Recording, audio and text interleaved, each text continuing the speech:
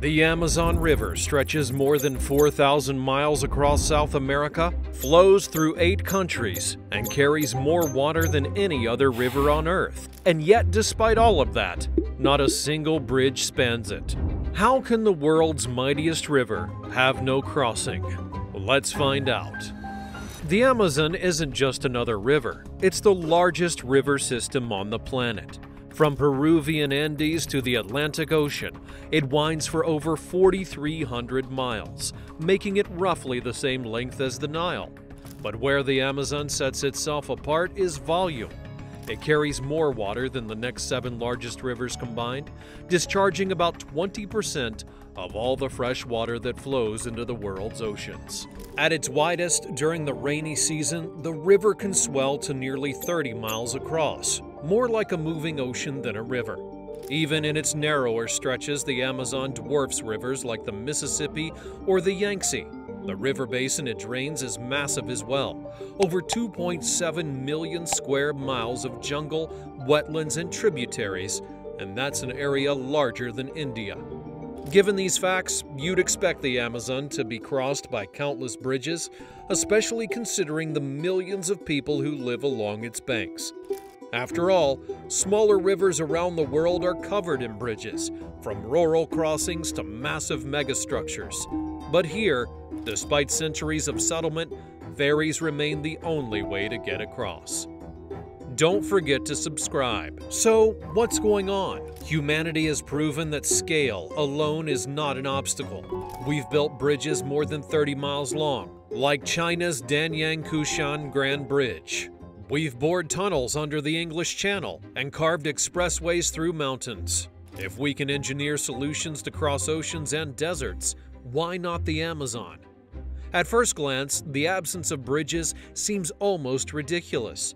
Surely, if smaller rivers across Europe, Asia, and North America can be spanned, the Amazon should be no exception.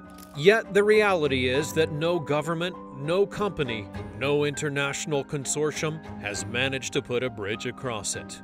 The answer isn't one single obstacle, it's a combination of geography, economics, environment, and politics that, when stacked together, make the Amazon one of the most difficult and perhaps least sensible places in the world to build a bridge. The Amazon River doesn't flow like the Thames or the Seine, with stable banks and predictable currents. Instead, it meanders through vast floodplains, where the land is soft, unstable, and constantly shifting. Building the foundations for bridge pylons in this kind of soil is a nightmare. Engineers would have to anchor massive structures into mud that shifts with every rainy season. Then there's the flooding itself.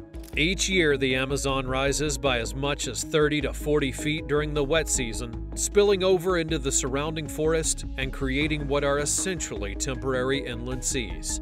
A bridge built for dry season dimensions could easily be swallowed by rising water or undermined by the force of seasonal currents. And unlike rivers that run in narrow, consistent channels, the Amazon changes its course. Over decades, it can carve out new paths and abandon old ones, designing a permanent structure in an environment where the river itself refuses to stay put is a gamble at best. All of this means that while building a bridge is theoretically possible, the engineering costs skyrocket when you factor in the Amazon's unpredictable geography. But even if the technical hurdles could be overcome, another question arises. Is a bridge across the Amazon even worth it? Unlike the busy English Channel or the Strait of Gibraltar, the Amazon River doesn't separate two massive economic hubs. Much of the land along its course is sparsely populated, with small towns, indigenous communities, and scattered settlements. Cars and highways are rare in the deep Amazon. The river itself is the main highway. Locals rely on ferries, boats, and canoes to move people and goods. For the few larger cities, air travel connects them more efficiently than roads ever could. A bridge costs billions of dollars to design and construct, for comparison, the bridge between Denmark and Sweden cost around $4 billion for just 5 miles. To build across even a moderate stretch of the Amazon would likely cost several times that amount. For governments in South America, there simply isn't enough demand to justify spending that kind of money when cheaper ferries already do the job. Unlike Europe or Asia, where high speed rail, dense highways, and massive trade justify mega projects, the Amazon region doesn't provide the economic incentive. Food, healthcare, and infrastructure closer to home are a bigger priority for most people living there. Even if money and engineering were not obstacles, there's another factor the environment. The Amazon basin is the most biodiverse place on Earth, home to thousands of species found nowhere else. Jaguars, pink river dolphins, giant otters, and countless birds depend on the river and its surrounding ecosystem. A bridge wouldn't just appear in isolation. To make it useful, you need highways leading up to it, which means cutting into the rainforest. Roads are often the first step toward deforestation, illegal logging, and habitat destruction. Indigenous communities that rely on the river and the forest would face disruption to their way of life. Environmentalists argue that a bridge across the Amazon wouldn't just be a piece of infrastructure, it would be the beginning of a chain reaction. Once you open up large scale access, deforestation accelerates, species decline, and one of the world's most important carbon sinks becomes weaker. In an era when climate change is already a looming threat, that's a cost that many scientists argue isn't worth paying. So, has anyone ever seriously tried? Surprisingly, the answer is yes, but not in the way you would expect. While there's never been a full scale proposal for a bridge across the main stem of the Amazon, smaller tributaries do have bridges, especially in urban centers like Manaus. But the central Amazon itself has remained untouched. In the 20th century, as Brazil sought to modernize, engineers floated ideas for crossings, but they quickly died due to astronomical costs and limited use cases. In 2011, the Rio Negro Bridge near Manaus was completed, connecting parts of the city over one of the Amazon's largest tributaries.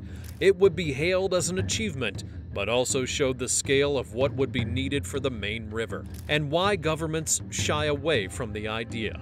For the Amazon proper, the sheer scale, cost, and risk have kept every serious attempt in the proposal stage.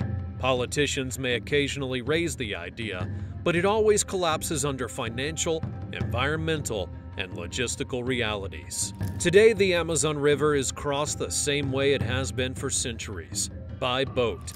Ferries transport cars, trucks, and people across at dozens of points. For long distance connections, planes dominate. Airports connect major Amazonian cities more efficiently than any road could. Engineers agree that building a bridge is technically possible with modern technology, but without population density, economic demand, or political will, there's no real push to make it happen. In fact, some argue that leaving the Amazon bridgeless may be a blessing. It preserves one of the last great wild frontiers, where the river itself remains the main artery of life. Could that change? Well, possibly. As South American economies grow, pressure to connect remote regions may increase. But with growing global concern for the Amazon's health, any future project will face fierce opposition from environmentalists and scientists. For now, boats remain the present and likely the future. So, why is there no bridge over the Amazon River? It comes down to a perfect storm of challenges unstable geography, seasonal floods, low population density, enormous costs, and devastating environmental consequences.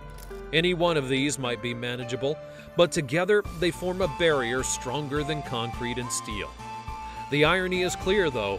Humanity has spanned seas, deserts, and mountains, We've built bridges longer than the Amazon is wide and tunnels deeper than its waters. Yet here in the heart of South America, the world's mightiest river flows without a single bridge. Perhaps that's not a failure of engineering, but a reminder that not every frontier is meant to be conquered. For now, and maybe forever, the Amazon River remains one of Earth's last great natural boundaries, crossed only by those who are willing to ride its waters.